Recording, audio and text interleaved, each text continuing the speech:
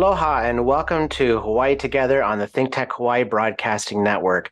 I'm Joe Kent, your host today, standing in for Keli'i Akina. I'm the Executive Vice President of the Grassroot Institute of Hawaii. My guest today is Nolan Gray. He's a former city planner in New York, a PhD student in urban planning at UCLA, and the research director for California YIMBY, a group that's working to change the conversation about housing and help end California's housing shortage. Nolan is also the author of a new book published by Island Press called Arbitrary Lines How Zoning Broke the American City and How to Fix It, which answers important questions about zoning, such as what is zoning and why do cities use it and does it have any drawbacks? And ultimately, Nolan says zoning should be abolished. And on our show today, he'll tell us why. So thanks so much for joining today, Nolan.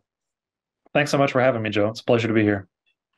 And congratulations on the book. I read it, and it's uh, well, it's it's fascinating for me. I'm interested in zoning, and if you ever want to know anything about zoning, you should definitely read this book. But it's also funny in many places and has a lot of great stories. Like for example, you start arbitrary lines uh, talking about your first planning job in New York City and how you manned the city's help desk and all the calls that would come in. Uh, what was that like, and what kind of perspective did that give you on how people view zoning?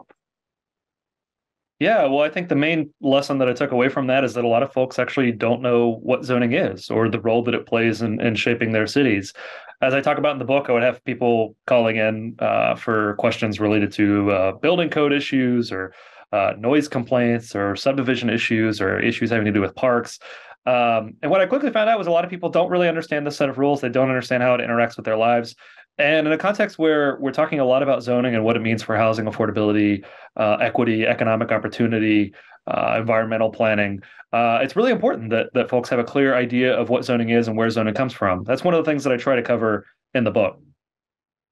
And you also mentioned that a lot of people's first experience with zoning is the video game Sim City, where you can map out, okay, this is a residential area, this is a industrial zone, but it's a little more complicated than that. Could you explain for our viewers what is the concept of zoning? What does it do and what is its purpose?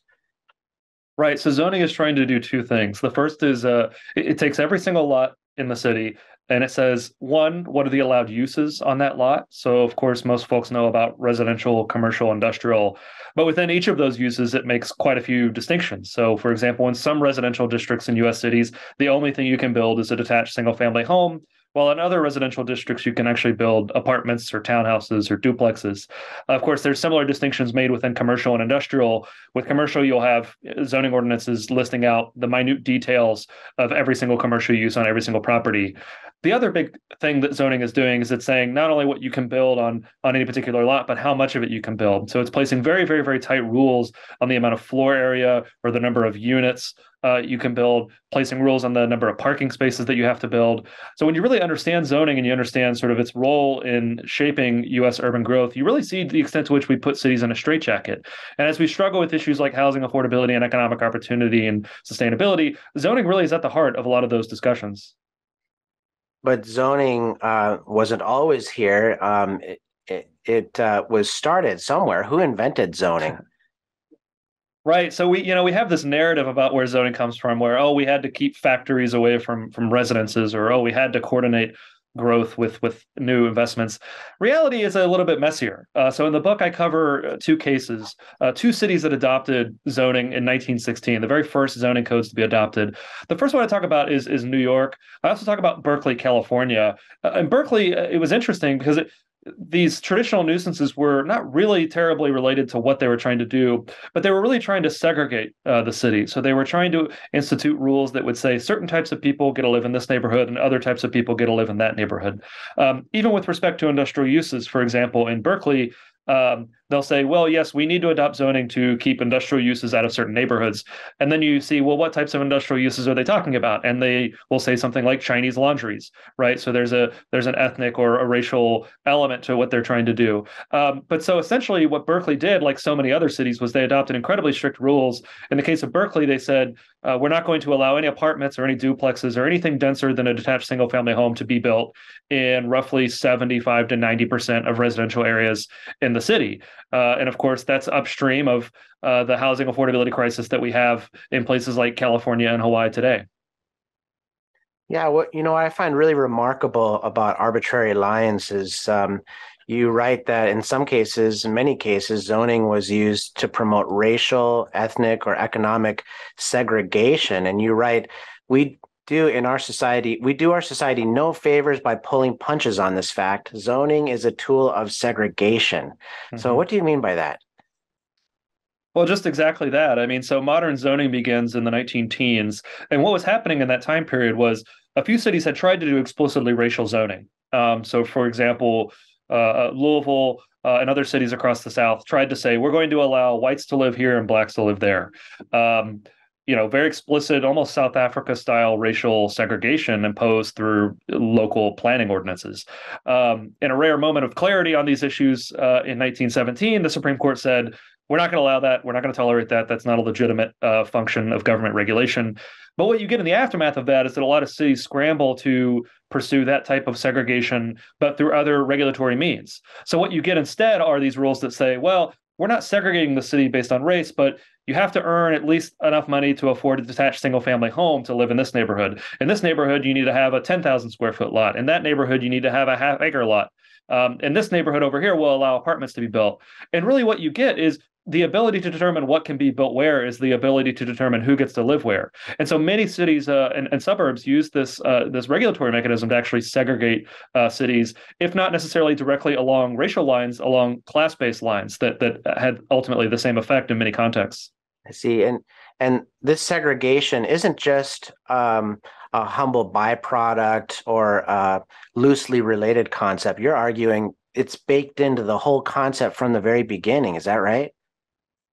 I think that's exactly right. I mean, so, you know, for example, before zoning, many jurisdictions did have regulations for things like true nuisances, right? So many jurisdictions would say, okay, if you're going to operate a slaughterhouse uh, or an oil refinery or something that we just know is going to be offensive, we're, we're going to require that you be in certain parts of town or we're going to require that you be so far away from residences and schools, right? I think those are the types of land use rules that most folks can get behind. But what zoning adds to this mix is then it says, well, we're going to go above and beyond that. We're going to say exactly what type of housing can be built where on every single parcel. We're going to say for every single parcel in the city exactly what uh, type of business you can operate, uh, what types of, of, permits those businesses have to get. Uh, and really, it's like I say, you're putting the cities in a straitjacket. You're saying, well, we're going to have a very, very, very regimented plan for what uses are allowed where and at what scale. And that's a pretty dramatic departure from the way basically all city planning worked uh, in, in human history until quite recently. Now, zooming into the zoning map, um, at least in Hawaii, um, if you look at it, most of the zoning is for single family homes. You, most of the zoning where where housing is allowed, and which is only five percent of the the land in the state, by the way. But but um, urban housing is allowed on five percent of the state, and if you zoom into that five percent, most of it, the vast majority, is single family homes. Um, now, is that the case for the rest of America too? And why is that?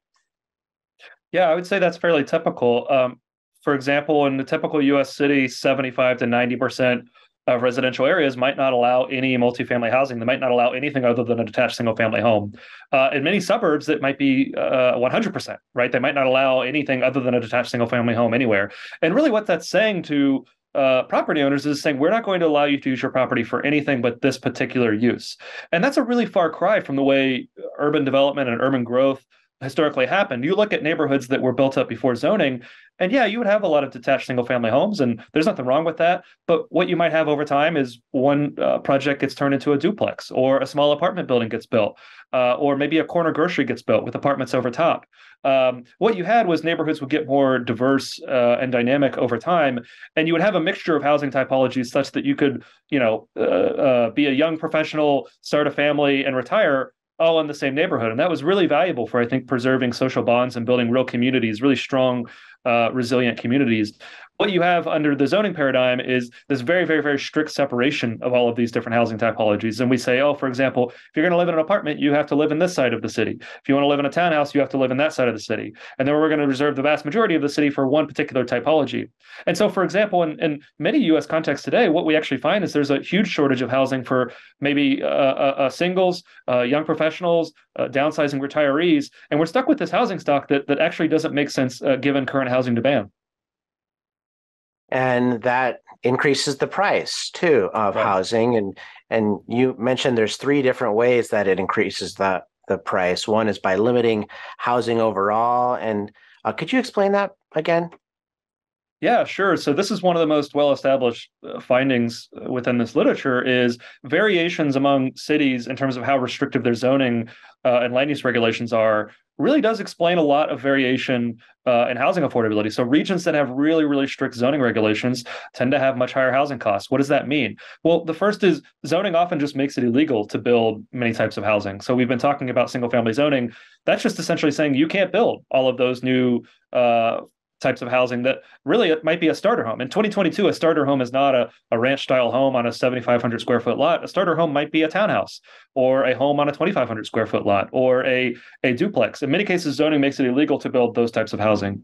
The second mechanism is that zoning actually requires the housing that is built to be quite a bit more expensive than it might otherwise have been. It doesn't allow developers uh, to build more affordable housing typologies that there might be mar- market demand for. So, for example, requiring huge minimum lot sizes that effectively mandate sprawl, or uh, in cities requiring minimum parking requirements in contexts where many folks might only have one car or they might not have any cars uh, in, in, a more walkable or transit oriented neighborhood um, you know within a market right a developer can can run experiments and say hey let's try to let's try some homes with smaller lots. Let's try some homes with less parking. And if there's a market for it, they can sell it. And it's pretty clear to me that there's a pretty large market for it that's being unmet if you just look at housing prices. But what zoning does is it comes in and it second guesses that and it adds on mandates and uh, uh, uh, requirements that don't really serve any health or safety function, but do dramatically increase the cost of housing.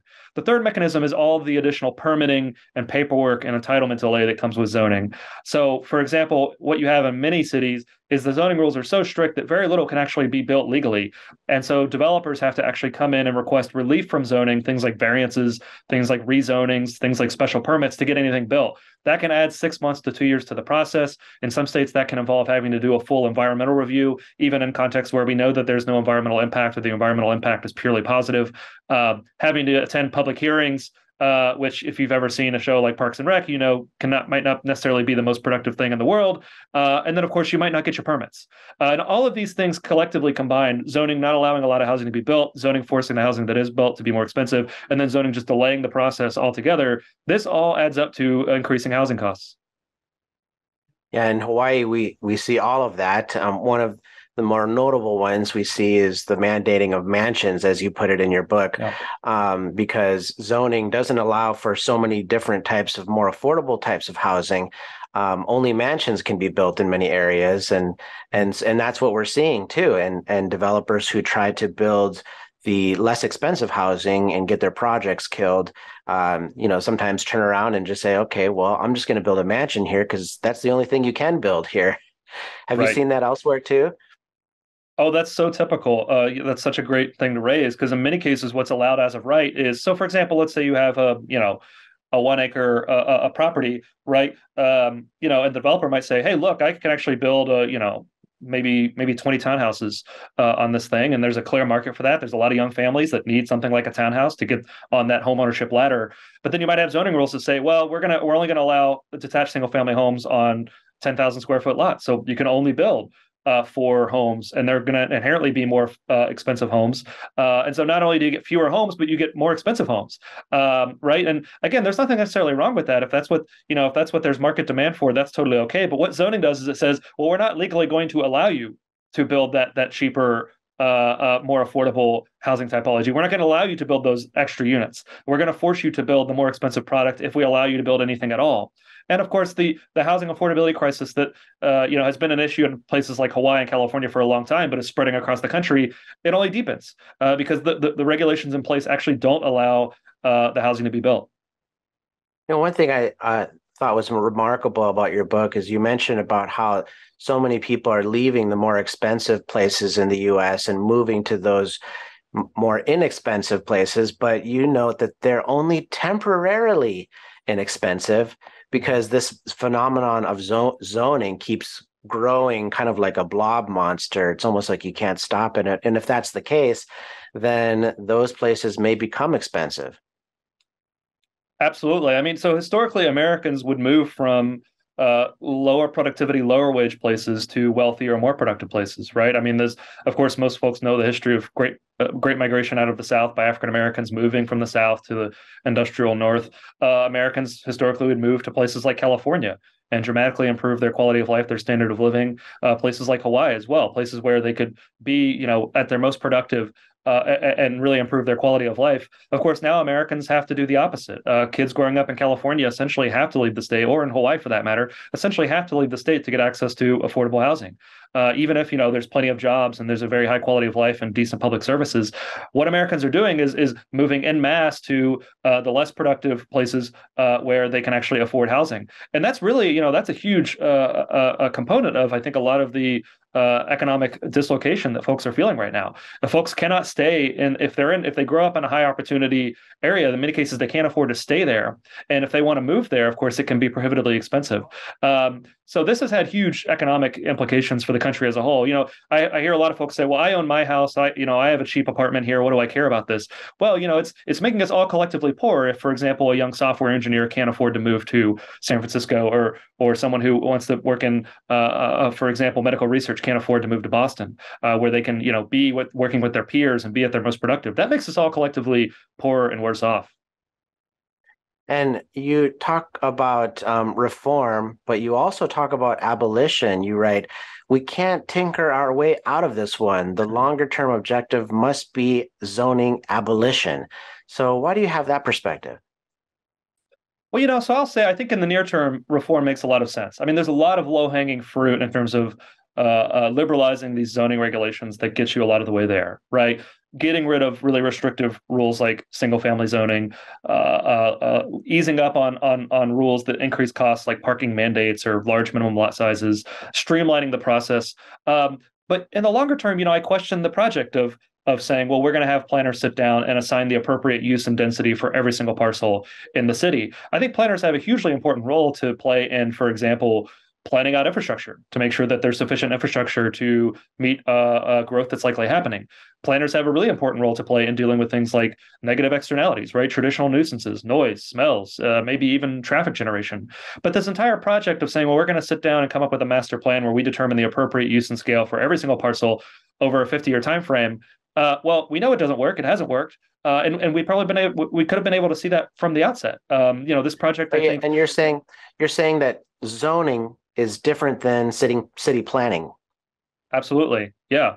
Well, I think this is this is a something that I try to flag in the book, which is that uh, zoning has kind of consumed city planning, right? Uh, so so much of it becomes this this giant game of trying to assign uses and densities to every single lot, and ironically, we end up losing sight of some of these more important planning objectives. You know, like I say, the things like planning out a street grid, planning that you have water and sewer installed, uh, making sure that you're scaling up public services alongside growth dealing with those traditional externalities. Those are all really important projects, and they're not really actually the type of thing that a typical planner does in, in his or her day to day. So much of what planning has become is is processing uh, applications for folks who are desperately trying to get exemptions to zoning. It's not it's not planning in any meaningful sense. It's purely reactive.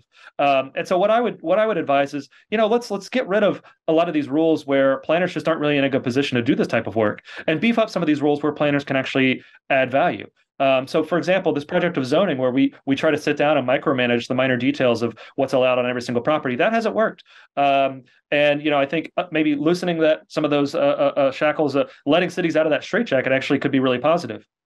And so, people who are concerned about the idea of abolishing zoning, as you put it, um, what you're saying is that there's another way to regulate noise, to regulate business and so on rather than zoning you can look at planning uh, can you explain again what is the difference between those two concepts yeah so it's a great question i mean planning is what humans have been doing basically since we started settling down right so you know in the western tradition we look back at at the ancient greeks who would when they're planning out a new city they plan out a street grid public plaza water sewer right? Humans have been doing that and, across civilizations uh, basically since the, the, dawn of time, right? Um, but zoning is a very different project. It's something that we've been doing for the last 100 years where we say we're going to assign the permitted uses and densities on every single parcel. There's going to be this giant zoning ordinance and a zoning map, and we're going to micromanage exactly what is allowed on every single lot. That's a very different project. And I think that if you actually appreciate, you know, what planners can and can't know, uh, where rules are actually appropriate, I think it looks very different from the system that we have today. Um, you know, in a book, I, I talk a little bit about Houston, which is really fascinating. It's the only major American city that doesn't have zoning. Houston made a lot of other, you know, planning mistakes. Uh, uh, that I, I, highlight in the book. But I argue uh, this is one really big mistake that they didn't make. And what you end up getting in Houston, actually, for example, is a, a, lot of the things that you actually kind of wanted out of zoning, but without a lot of the costs. Uh, so, for example, in a city like Houston, uh, truly incompatible uses still, for the most part, separate, right? Uh, you know, the zoning mythology is, oh, we needed to adopt zoning to keep factories out of residential neighborhoods. Well, you know, the factory doesn't want to be on your cul-de-sac any more than you want the, the factory to be on your cul-de-sac, right? Uh, different uses have different locational needs. They need to be near, you know, trunk line railroads, large uh, freeway interchanges. Similar, similar with commercial, right? Commercial has different locational needs from from residential, and then of course everyone has a vested stake in not having uh, ongoing conflicts with their neighbors. So the market, to a certain extent, solves a lot of these problems. Where markets don't solve these problems, it's appropriate to have rules that are targeted around specific impacts or the specific behaviors that actually do affect the quality of life of people. But that's a very different project from this project of saying, well, we're going to sit down and say exactly maybe where bakeries are allowed, or we're going to sit down and say where duplexes can and can't be built. Um, and to your and, point, and, um, uh, to your point, zoning actually gets in the way of of city mm-hmm. planning especially over time. You mentioned that the zoning over time in America has um, frozen cities in amber, and that certainly happened in Hawaii. But if you want to plan, let's say the economy changes or the market changes, and and people want to live differently, uh, it's hard to do that under um, an old zoning regime. Yeah.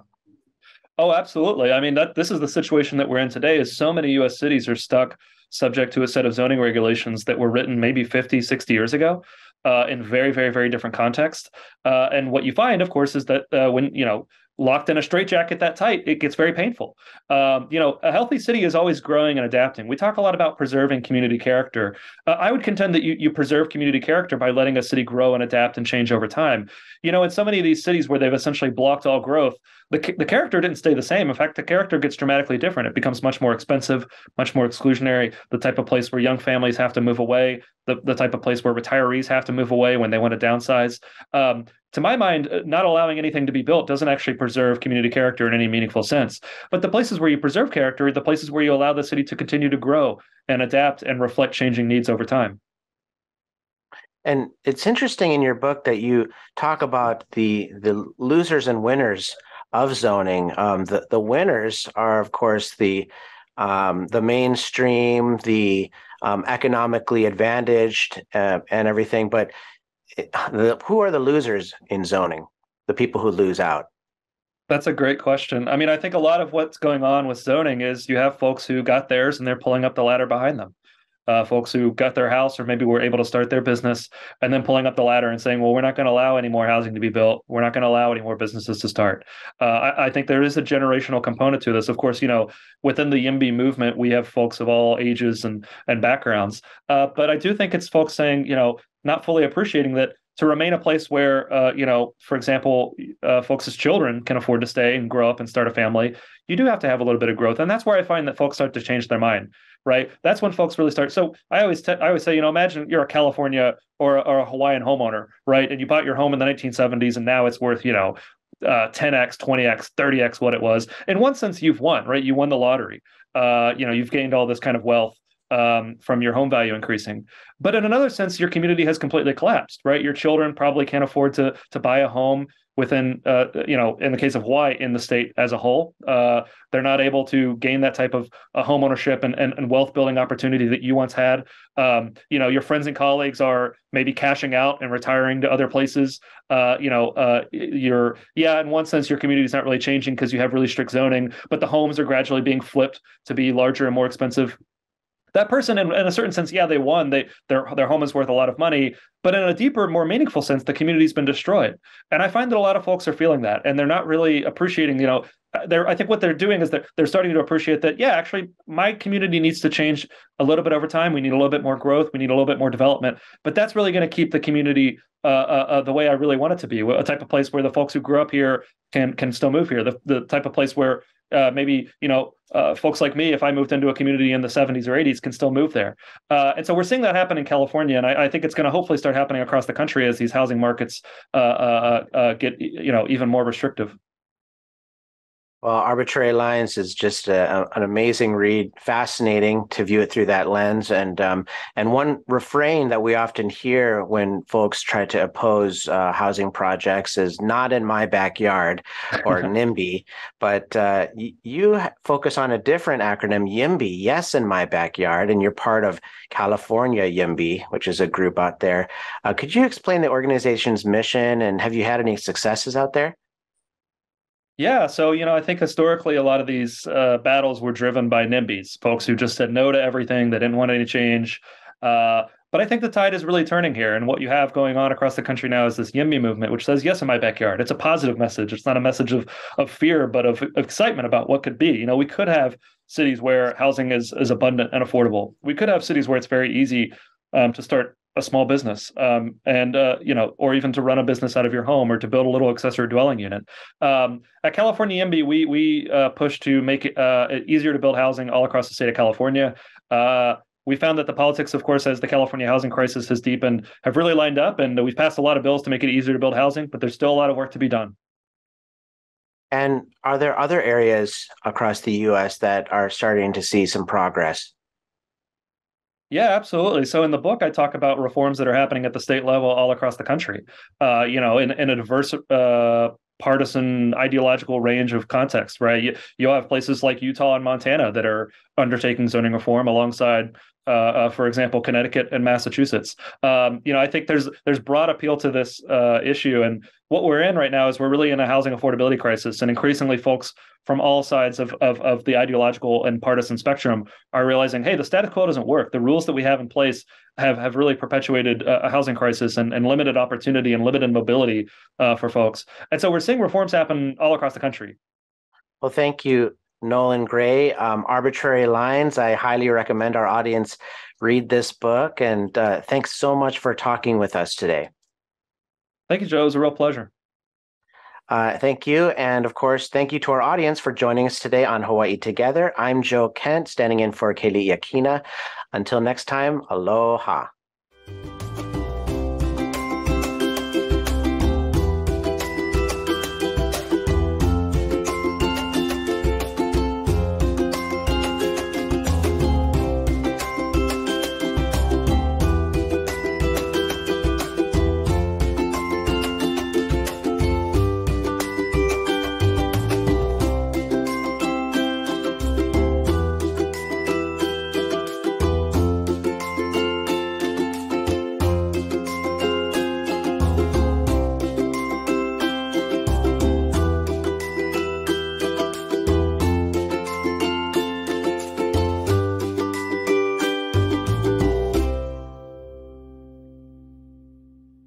Thank you so much for watching Think Tech Hawaii.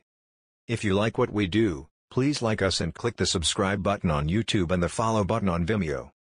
You can also follow us on Facebook, Instagram, and LinkedIn, and donate to us at thinktechhawaii.com. Mahalo.